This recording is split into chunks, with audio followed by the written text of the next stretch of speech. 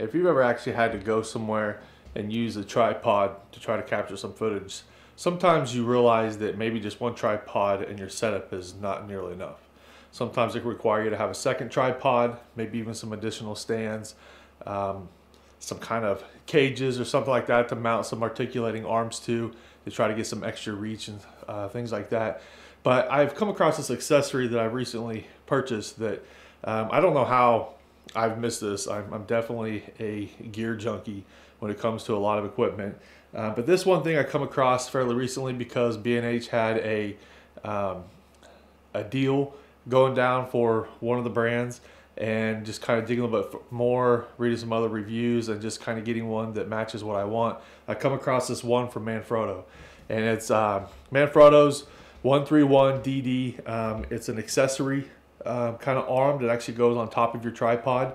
It takes your one 3 8 inch head and turns it into four. So essentially, you net three new ones. Um, they got two on the ends, which are really great. You can put like a ball head on there, like I have here for this external monitor that I could use if I wanted to. Right now I have it off. It's really just for display purposes, uh, but it's really great. I could have a, head on there. I can rotate this how I want. If you have a second an assistant or if you have uh, you know the client wants to look at it you can always kind of turn it to the side like that and they could be watching um, while you're you know focusing on all this type of stuff. Or you could have it kind of turn like this so that you still have your camera up here and you can still kind of focus on this. Because if you've ever filmed somebody a lot of times when you're making eye contact with them it causes their eyes to drift away from the camera especially if you're standing behind it.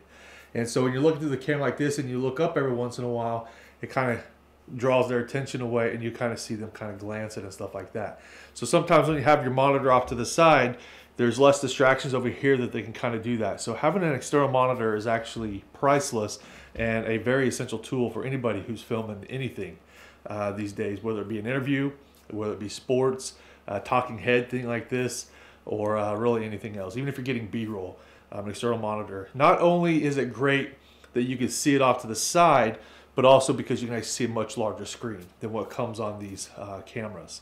Right here, this is a seven inch one. Most of them are usually about five inches, which is still plenty large enough. This one is also a recorder uh, that I use to capture a lot of my stuff as well. So um, that's what's really great about having that on there. It's, out of the way, it works, and uh, it doesn't really take up any additional space.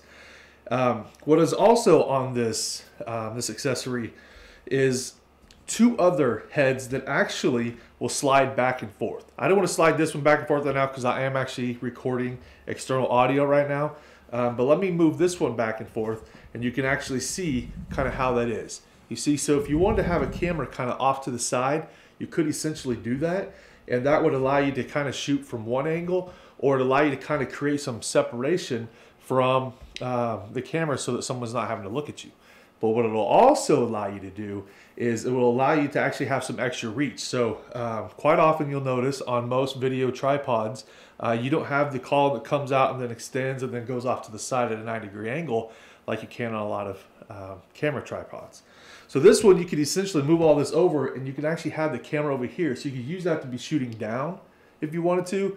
You could have it to be getting out some extra reach over something that maybe you can't get a tripod to, get some of that kind of cool footage. Maybe you're wanting to do some pan down over something, so you need to be out here and you're panning it down and now you're gonna have most of the legs out of the way so you can actually get more of that shot. There's a lot of different things you can do with that, which is really great. One of the things I think is really handy about it is you can essentially put a, a head mount on one side, um, a ball head or whatever, and you mount the camera to it. And over here on the other side, you could literally create kind of a plane. It could be a Lazy Susan. It could be um, a turntable. It could just be something where you could actually place a product on there and you essentially have now a two foot distance to shoot some product photography.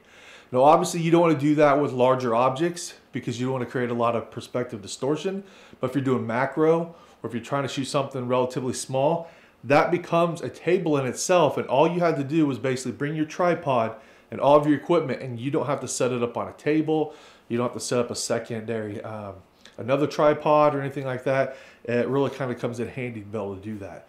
Um, and obviously with you having um, your tripod, if you have a video one and you have a, a ball head that you can kind of swivel a little bit, you can give yourself a little bit of angle also. If you're shooting something close enough, what you could do is you could have a camera on the end, a camera on the other end, and you could essentially have two cameras. Now, that's not as much difference as you uh, distance as you normally will want for a two camera shoot. Um, but if you want to have one set at more wide angle and the other one set a little bit more tight shot, you can definitely pull off that, that, that appearance without looking like you're shooting all in the same place. And another thing to keep in mind, if you've ever shot sports or if you shot anything journalism, an event or something, um, if you're shooting with one camera and you're one person, it's really hard to get a lot of different things. It's hard to do tight shots and also get the wide angle without having a lot of missed shots in between there. So what you could do is you could put a camera on one side and you could literally have it just shooting wide angle of the entire event um, or at least for most of the event.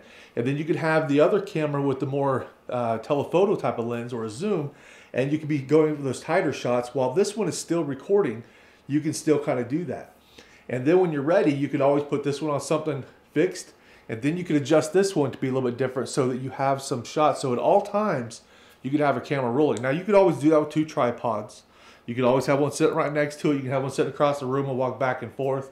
Ideally, you normally will have more than one person shooting with you, um, but a lot of times you can't afford that, you know. And sometimes finding someone to be able to do it the way you're needing to do it is there, there's a lot of trust that goes into that. But if you need to have it in a compact place where it kind of becomes your home, you could really just be right here and you could actually pull off some pretty amazing stuff. So you could always have, you know, the camera over here, put your audio here. You could also like here, you can see I have a cage around the, uh, the external recorder here, this Atomos uh, Inferno Ninja, Ninja Inferno, sorry. Um, and I could even just mount the audio recorder to that, maybe even put a secondary microphone on that or something along those lines. It's, it's, it's pretty cool to be able to have this success right here now. I bought this from B&H, which, which is where I buy most of my stuff. I buy from them or Adorama. And um, I think it cost me about $150 when I did get it. Um, but it's, it's built like a tank. It's phenomenal. It doesn't rotate once you have that thing locked in.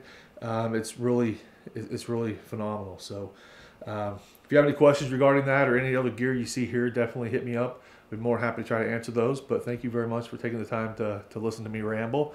And uh, hopefully um, it helps give you an insight into some of the other tools that maybe um, you've been looking for or you didn't realize you knew you wanted until you came across it. Like I happened to uh, stumble across this one not too long ago. Thank you very much.